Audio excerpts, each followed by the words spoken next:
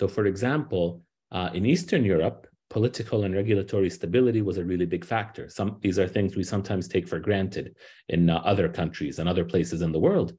So acts proposed by the ruling party or changes in regulation meant that the organization had to quickly also change and deliver change to implement those changes.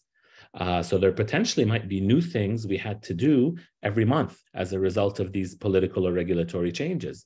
So imagine trying to have these beautiful plans for three months or for a year when every month there was a new burning platform or a new burning issue you had to address. And in this case, change was being forced onto the organization frequently and unpredictably.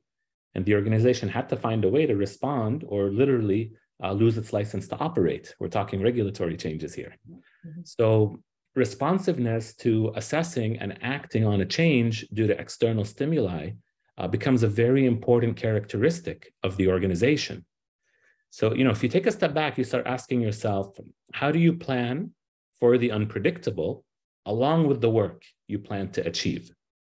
How do you find a way as an organization to deliver on your targets and committed deliverables for the year while also accommodating this disruption that you also have to tackle?